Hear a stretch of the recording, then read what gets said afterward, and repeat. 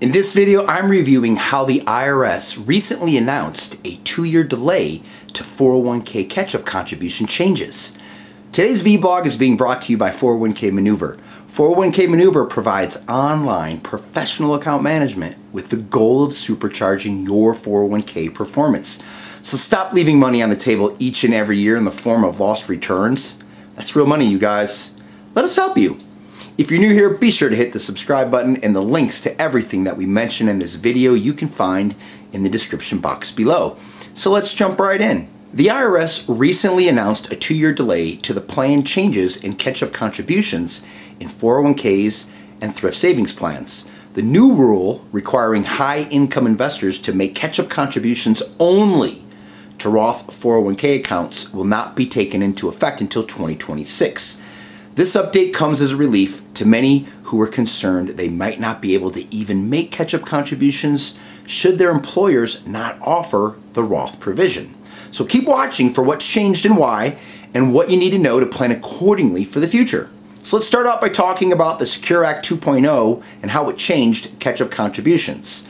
Under the Secure Act 2.0, Section 603, passed in December of 2022, 401k investors ages 50 and over who make more than $145,000 per year have to make catch-up contributions to an after-tax Roth 401k account instead of the traditional pre-tax 401k.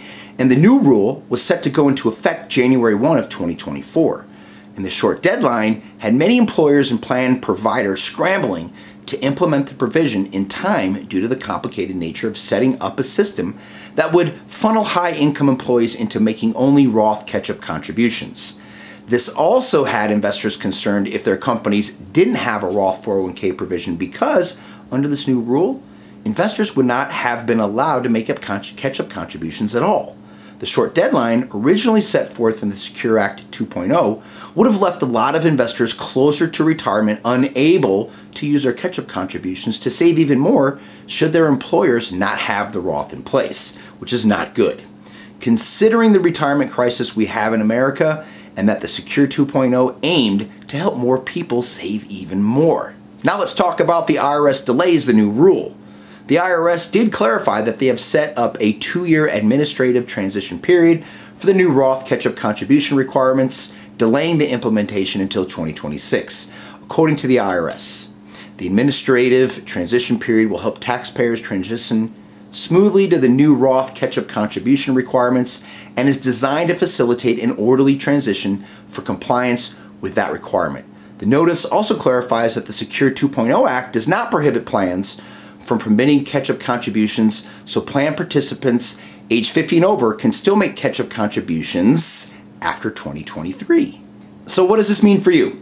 For now, those who make $145,000 or more who rely on catch-up contributions to bolster their retirement savings can contribute to make contributions or can continue to make contributions as planned in their 401ks and get the tax break and do so for the next two years. This also gives high earning investors time to adjust their retirement strategy in anticipation of this rule taking effect in 2026. Remember, in 2023, the 401k catch up contribution is $7,500 in 2023, which means you can stash away a total of $30,000. Now let's talk about major Secure Act 2.0 changes you need to be aware of.